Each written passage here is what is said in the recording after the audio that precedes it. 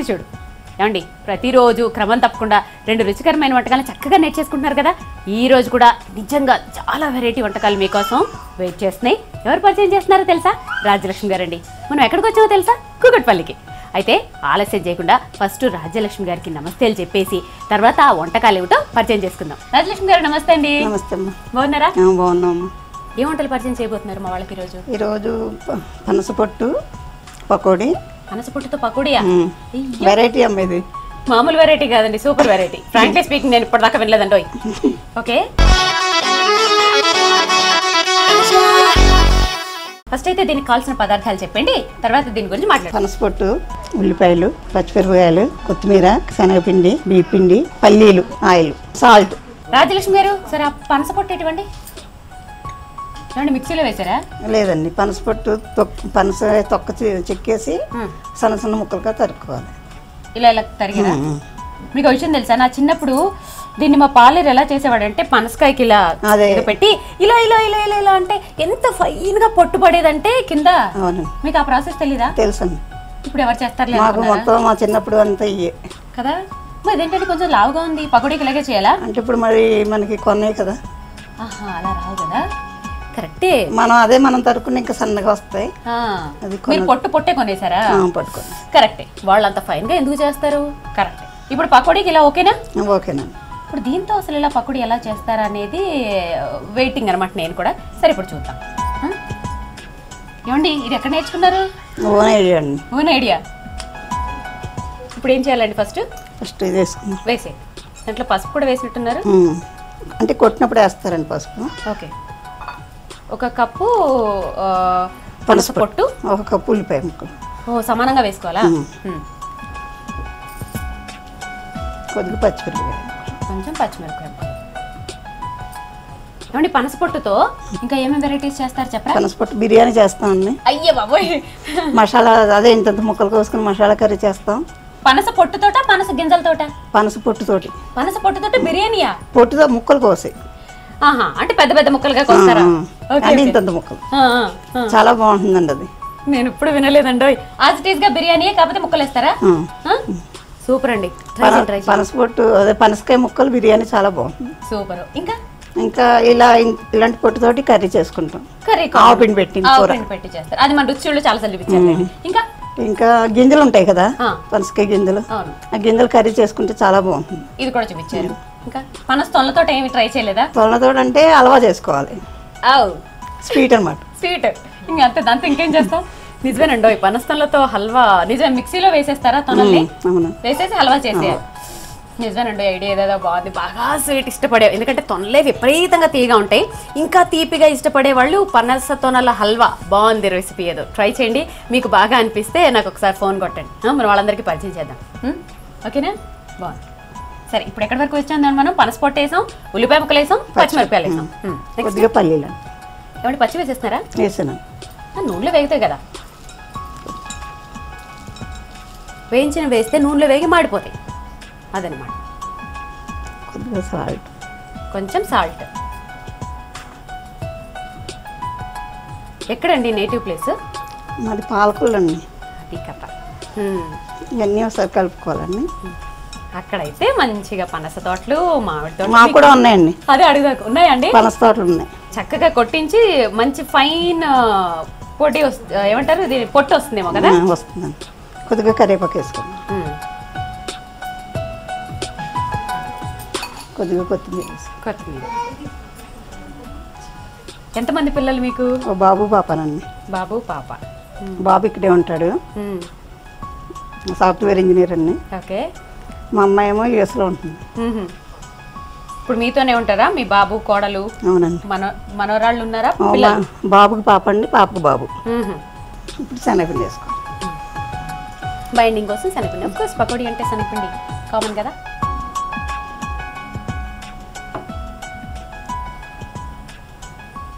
ఇంట్లో మీరు వరిపిండి కూడా వేస్తున్నారు కదా? నార్మల్గా పకోడీలో వరిపిండి వేస్తారా? వేస్తారండి. ఊరికే రెండు స్పూన్లు. ఓకే క్రిస్పీనెస్ కోసం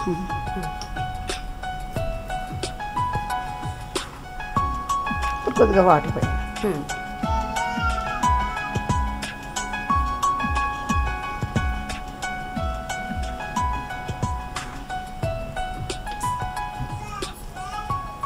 బాగా కలిపేసుకోవాలి బాగా కలిపేసుకోవాలి. ఇంకా ఏమేమి స్పెషల్స్ చేస్తున్నారండి? మనస్కాయ వదిలేయండి. ఈ సీజన్లో వచ్చే వాటితో ఈ సీజన్లో ఎక్కువ మామిడికాయలతో చేస్తాం. ఇంకా మామిడికాయలతో ఏం చేస్తారు? మీకు మామిడికాయ తోటలు ఉన్నాయా ఉన్నాయండి అఫ్కోర్స్ పనస తోటల్లోనే ఓ పక్కకి అవి కూడా ఉండుంటాయి. కలిపేసి అయిపోయిందా? అయిపోయింది. నూనె పెట్టుకుందామండి. స్టవ్ వెలిగించుకొని బాండ్లీ పెట్టుకొని నూనె పోసేసుకుందాం. Okay oil పోసుకుందామండి. కలిపేసి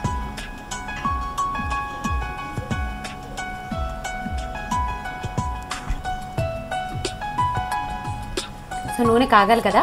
నూనె కాగే లోపల ఒక్కసారి అది ఇస్తే మనం ఎలా కలుపుకున్నామో ఇంకొకసారి క్లియర్గా చెప్తాం. సో పనస పొట్టు పకోడీకి మనం పిండి కలిపేసి పెట్టేసుకున్నాం అండి పకోడీ స్మెల్ వస్తుంది. కాకపోతే దీనిలో మెయిన్ ఇంగ్రీడియంట్ పనస పొట్టు అండి. పనస పొట్టు మనకి ఇప్పుడు మార్కెట్లో దొరుకుతుంది. ఆ, పనస పొట్టు తీసుకుని పనస పొట్టు ఎంత తీసుకున్నామో ఉల్లిపాయ ముక్కలు కూడా అన్నీ తీసుకోవాలి. రెండు వేసేసుకుని కొత్తిమీర కరివేపాకు వేసుకున్నాము పచ్చిమిర్చి ఉప్పు శనగపిండి కొంచెం వరిపిండి వేసుకోండి. క్రిస్పీగా ఉంటుందంట. సో అన్ని వేసుకుని కొంచెమే నీళ్ళు పోసుకుని పకోడీ పిండి ఎలా కలుపుకుంటాం. ఆ విధంగా కలిపేసుకోండి.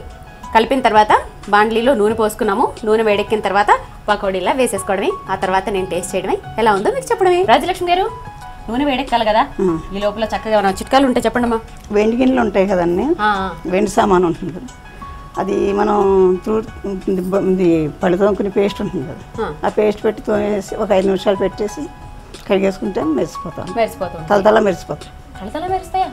ట్రై చేశానండి మరీ అంత తలతల మెరవలేదు. అంటే నేను తోమడంలో లోపమే. ఒక ఐదు నిమిషాలు ఉంచాలంటారా? ఉంచాలండి. అది. నేను ఐదు నిమిషాలు ఉంచలేదు. ఈసారి ఉంచినాక చెప్తా. ఇంకా?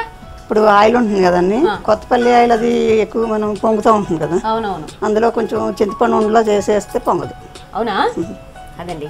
నిజమే. కొన్ని కొన్ని మాకు రుచి చూడులో మాకు కూడా కొన్ని ఇన్సిడెంట్లు అయ్యాయి. ఏంటంటే పల్లి ఆయిల్ పొయ్యంగానే దాంట్లో ఏమన్నా మనం ఇలా మురుకులు లాంటివి వేయంగానే ఇలా పొంగిపోయినవి. కొన్ని ఇన్సిడెంట్ నేను కూడా చూశాను. అలాంటప్పుడు ఏం చేస్తారంటేనట చింతపండుని కొంచెం ఉండలాగా చేసి దాంట్లో వేసేసేయండి పొంగకుండా ఉంటుందట. మంచి చిట్కా. నోట్ చేసుకోండి. థ్యాంక్స్ అండి. నూనె కూడా కాగింది. మనం ఇప్పుడు వెయ్యాలా. చింతపండు? అక్కర్లేదండి కాదు కాదు. ఇది ఆ నూనె కాదండి. అవసరం లేదట. ఏమంటే కొత్త మూకుడు సీల్ తీశారు రుచి చూడు కోసమే. యాక్చువల్గా అత్తగారుల వంటలు బామ్మల వంటలు ఇలాంటి మూకుళ్ళల్లోనే ఉంటాయి. కోడళ్ళ వంటలేమో నాన్ స్టిక్ ప్యాన్స్లో ఉంటాయి. కారణం ఏమిటంటారు? కారణం అంటే ఇప్పుడు పకోడీలు వండితే మరి ఇదే కావాలి కదండి. కాదండి. మీ తరంలో ఇలాంటివే ఉండేవి కాబట్టి మీరు దీంట్లో వండితేనే సాటిస్ఫై అవుతారు. అదే కోడళ్ళకి ఇవి నచ్చవు. ఏ? ఇవేంటి? నాన్ స్టిక్లు చక్కగా పాష్గా ఉన్నప్పుడు దాంట్లో వండుకుందాం అనుకుంటారు. అదన్నమాట. మీరు ఉల్లిపాయ పకోడీలు వేస్తారా అండి? వేస్తాను బాగా వేస్తారా? ఇవి వేసినప్పుడు వేయరా శ్రీవాణి ఏం అడుగుతావు క్వశ్చన్? ఇవే గుమ్మగుమ్మలాడిపోతున్నాయి అవి ఎలా ఉంటాయి? అన్ని రకాల వజ్జీలు వండుతాం. ఎన్ని రకాలంటే నాన్ వెజ్ కూడా వేసేస్తారా? నాన్ వెజ్ పకోడీలు నాన్ వెజ్ అంటే నేను తిన్నాండి. ఓహోహో. పిండి వంటలు చేస్తూ ఉంటారా మన వాళ్ళ కోసం? పిండి వంటలు అన్నీ వచ్చాను ఏమేం చేస్తారండి? సమ్మర్ కదా ఏమేం చేశారు? అంటే ఇది వరకు ఇప్పుడు చేసినా కూడా తిన తినట్లేదండి ఎవరు. అవునండి. ఇది వరకు అంటే బాగా ఎక్కువ వండుకునేవాళ్ళం అవును. ఇప్పుడు తిండి తగ్గిపోయింది. వేగిపోయినట్టున్నాయండి అయిపోయినాయండి సర్వింగ్ ప్లేట్ ఇవనా వెండి పళ్ళెంలో పనస పొట్టు పకోడి.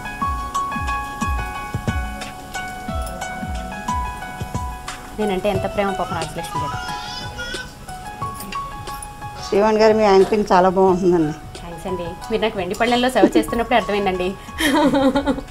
ఇప్పుడు ఏంటి టేస్ట్ చేయడమేనా? ఇంకేమైనా ప్రాసెస్ ఉందా? ఇప్పుడు ఏం చేస్తారు? కొంచెం కొద్దిగా కరివేపాకు వేయించు.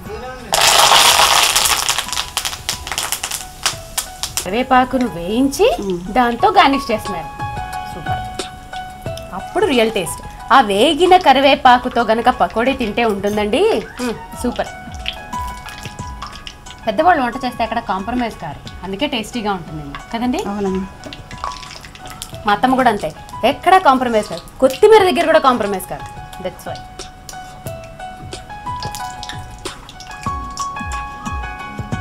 గార్నిష్ చేసేద్దామా? నేతిలో వేగిన జీడిపప్పు అండి ఇప్పుడు టేస్ట్ చేయనా? పనస పొట్టు pakodi with rich garnish okay taste చేసి చెప్పనండి. అబ్బో.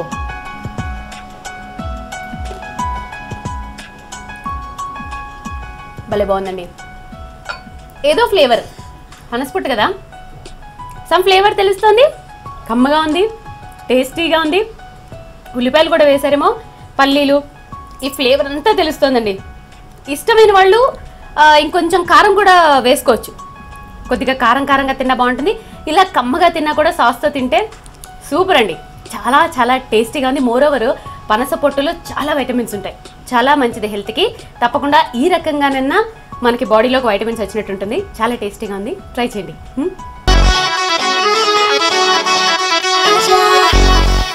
రాజలక్ష్మి గారు చాలా చాలా చాలా టేస్టీగా ఉందండి. కమ్మగా ఉంది. థ్యాంక్స్ అండి. సో మరి మీకు కూడా ఇలాంటి వెరైటీ రెసిపీస్ కనుక తెలిసి వాటిని మన ప్రేక్షకులకి పరిచయం చేయాలి అనుకుంటే మీరేం చేయాలి? మా నెంబర్కి కాల్ చేయడమే. మీరు కూడా రుచి చూడు కార్యక్రమంలో పాల్గొనాలనుకుంటున్నారా? అయితే మీరు సంప్రదించాల్సిన phone number nine zero one zero two three zero triple five. So రేపటి రుచి చూడు కార్యక్రమంలో మరికొన్ని సరికొత్త వంటకాలతో మీ ముందుంటుంది మీ శ్రీవాణి. తులన్. బాయ్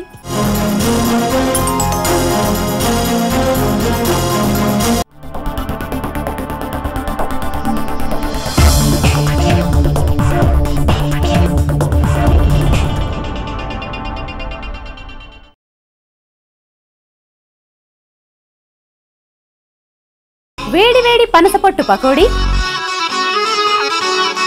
నోరూరించే చింత చిగురు కొబ్బరికూరు కర్రీ.